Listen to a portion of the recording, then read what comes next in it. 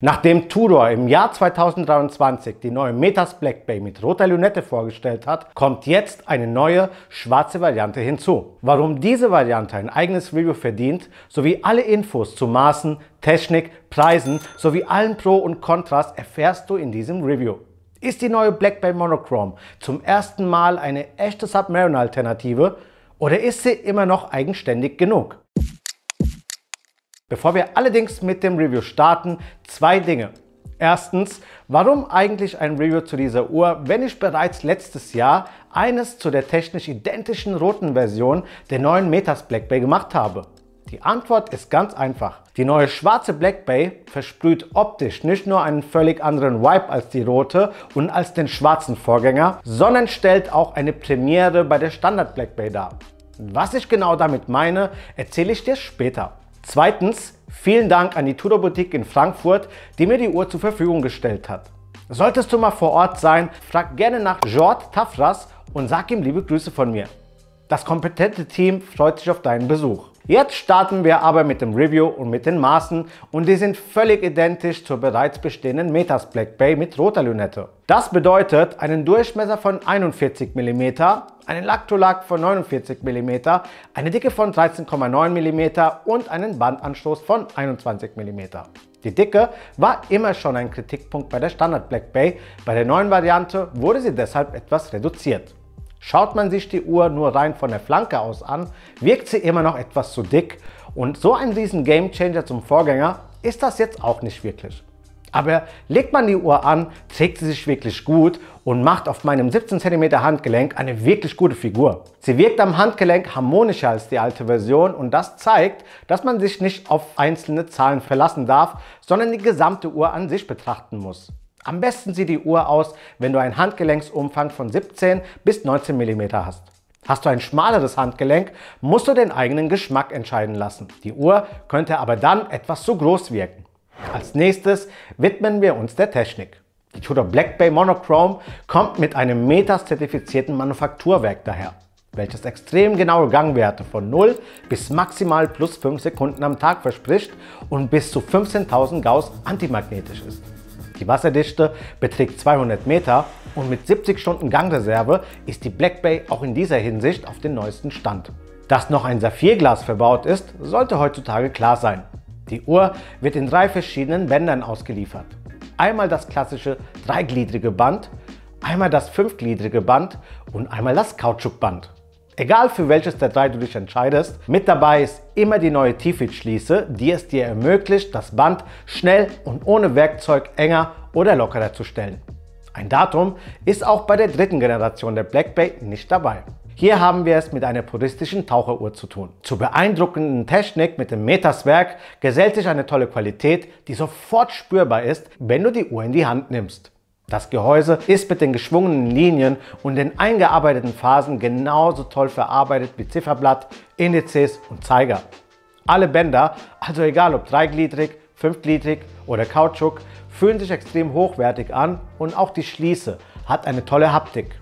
Noch besser ist allerdings die Lünetten-Action, die auch hier wieder eine Menge Spaß macht. Jeder Klick ist spürbar und der Sound, der erzeugt wird, sorgt für Gänsehaut. Genau so muss es sich anfühlen, wenn man eine Taucherlünette betätigt. Ganz klar eine 10 von 10 auf der Lünetten-Action-Skala. Als Autor und Journalist in der Uhrenbranche habe ich es mir zur Aufgabe gemacht, dir zu jeder Uhr, die ich in die Finger bekomme, ein ausführliches Review zu zeigen. Abonniere also unbedingt meinen Kanal, wenn du keine ehrliche und ausführliche Reviews mehr verpassen möchtest. So, und nun geht es weiter mit dem Design und das ist genau der Grund, warum die schwarze Black Bay ein eigenes Review verdient. Denn hier hat Tudor etwas getan, was bei der Standard Black Bay einer Premiere gleichkommt. Es gibt keine Guild-Elemente mehr. Ja, bei der alten Version mit blauer Lünette war auch alles eher kühl gehalten, aber die Uhr hatte trotzdem ein relativ mattes Zifferblatt und auch der Blauton der Lünette war sehr vintage gehalten. Aber bei der neuen Black Bay Monochrome ist davon nichts mehr zu sehen. Das Sunburst-Zifferblatt hat einen seidenmatten Glanz und auch die Lünette ist in einem kühlen Schwarz gehalten. Es gibt Vintage-Details, aber diese beschränken sich eher darauf, wie Dinge wie der Lünettenring und die Krone designt sind. Auch der Snowflake-Zeiger ist wieder mit von der Partie.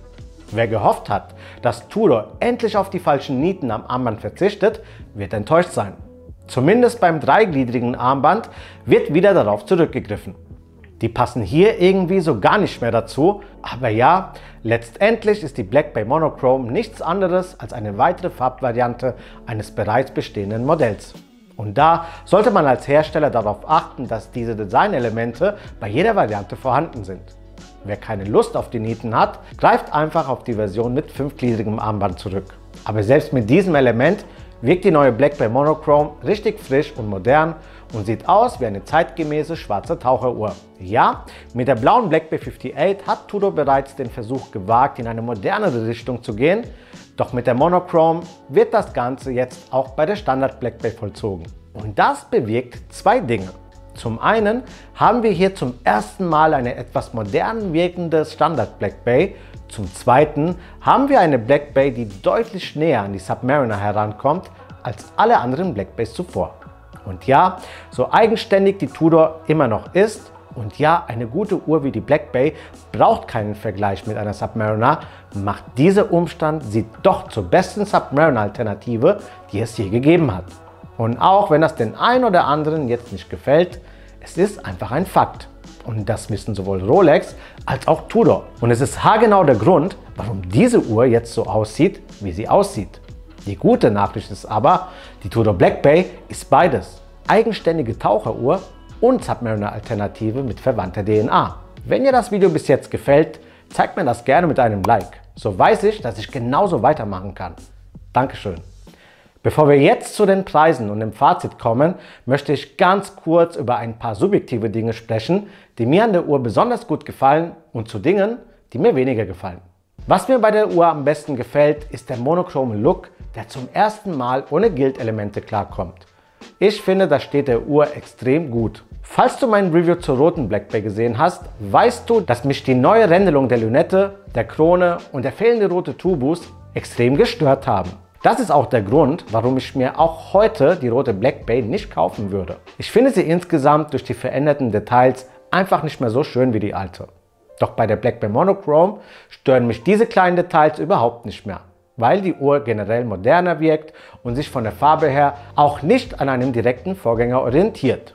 Einzig eine Keramiklünette wie bei der Pelagos hätte hier absolut Sinn gemacht. Ich gehöre zu den Leuten, die die Alu-Lünette der Black Bay richtig finden. Denn spätestens, wenn es um warme Farben geht, bietet diese Designentscheidung ein großes Plus gegenüber Keramik. Und sie ist ja auch extrem robust und nicht wirklich ein Nachteil. Doch im Zuge des moderneren Looks hätte der Uhr eine Keramiklünette sehr gut gestanden. Das wäre aber genauso wie mit den Nieten am Armband nicht passend zu den anderen Modellen gewesen. Und deshalb ist das so wie es ist absolut in Ordnung. Preis und Fazit.